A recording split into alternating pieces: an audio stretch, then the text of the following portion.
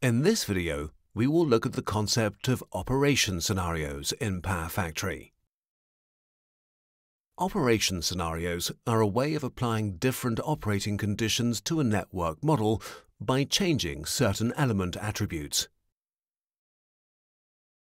Take, for example, a generator.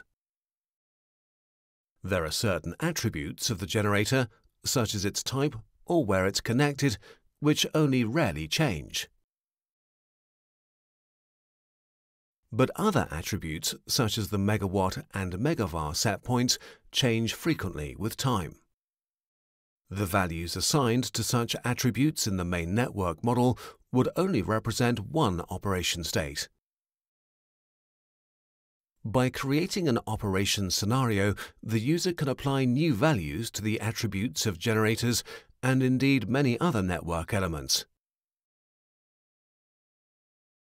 The attributes that can be modified in an operation scenario are highlighted in blue.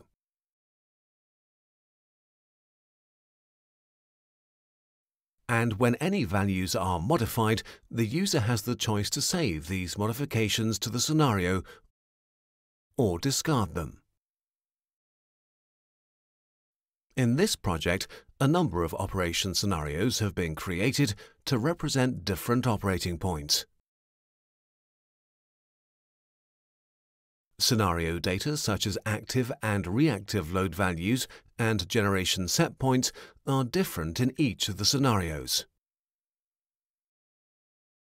Let's look at this scenario, which represents a time when wind generation levels are high.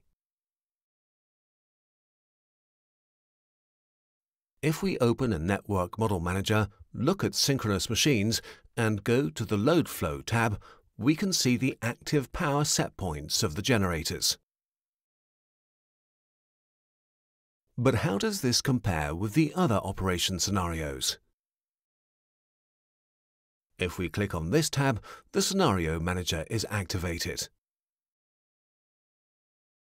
This configurable view allows us to see the data in selected scenarios and compare them.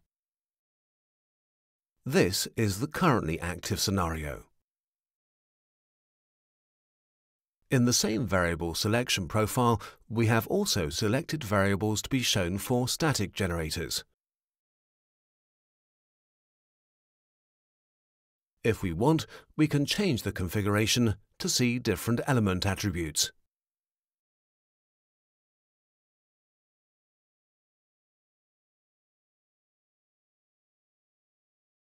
It's also possible to include attributes which are not scenario data.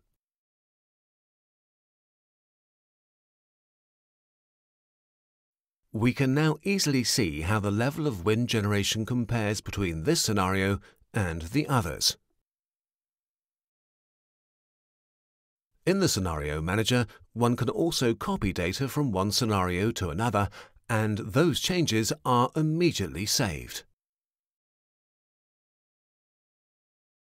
But normally, scenario data are simply edited for the active scenario where they can be changed manually, by script, or by import from external sources. Operation scenarios provide a highly flexible mechanism for studying your network under all sorts of operating conditions.